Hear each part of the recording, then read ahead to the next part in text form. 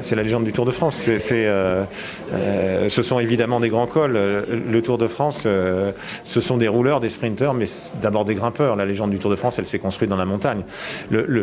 Le Tour de France, à mon sens, a un peu moins souffert que les autres épreuves sportives l'an dernier avec la pandémie et les risques. Parce que, vu d'hélicoptère, le décor du Tour, il est de toute façon exceptionnel. On n'est pas dans un stade qui est vide, parfois désespérément vide.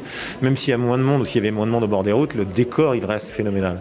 Donc ça, c'est forcément, forcément un, atout, euh, sans aucun doute. Ah non, mais c'est mythique, hein, qui passe à Cluse. Moi, moi, je suis sûr que là, j'ai déjà booké mes deux jours. Hein. Je fais rien pendant deux jours là à Cluse. Je vais être au Grand Bornand, mon Saxonnet, enfin voilà.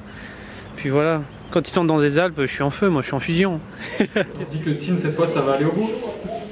J'espère que ça va aller au Boitine, oui. Euh, acceptons-en l'augure. Euh, le Tour de France a été arrêté une fois dans son histoire depuis 1903 pour des raisons euh, de météo. C'était le 26 juillet 2019. Donc évidemment, euh, j'avais promis à l'époque au, au, maire de revenir le plus vite possible. Nous avions des engagements pour l'année suivante. On revient deux ans après euh, avec une étape qui, euh, qui promet. Hein. C'est donc le, premier week-end dans les Alpes, d'Oyonnax dans le département de l'Ain jusqu'au Grand-Mornan, Rome-Colombière, un premier passage déjà à Cluse. Euh, seules les villes de Nîmes et de Carcassonne qui font arriver et départ ont deux passages.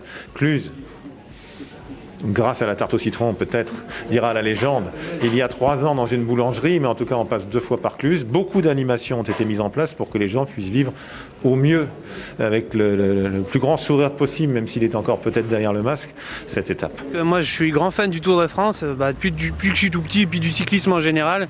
Puis, quand c'est dans, nos beaux pays de Savoie, bah, moi je me dois d'être présent. Et puis voilà, j'ai amené quelques ouvrages pour qu'il me fasse une dédicace.